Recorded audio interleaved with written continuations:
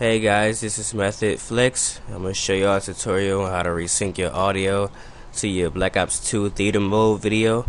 When you upload your video from theater mode, your audio is out of sync, so you can't really get that back unless you do the the editing. You gotta resync your audio back to your video. So watch, I'm gonna show y'all.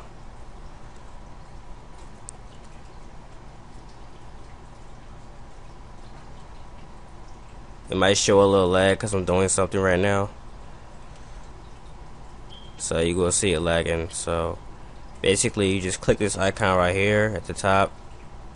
This right here. Just click that. Or this one.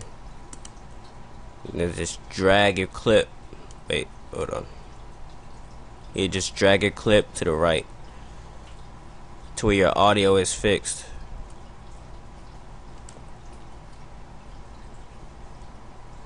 You like match it to your video so your audio is like is resynced.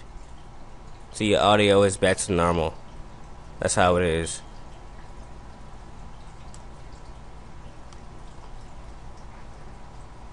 See? It was already done so it might not show it correctly because it's lagging. The video is lagging so it's the way I'm editing it so just bear with me. Bear with me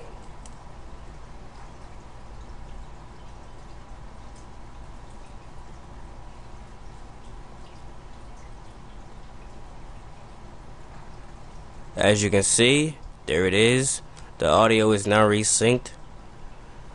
Leave a comment, like, subscribe, and let me know what you guys think of this video. And what should I improve on.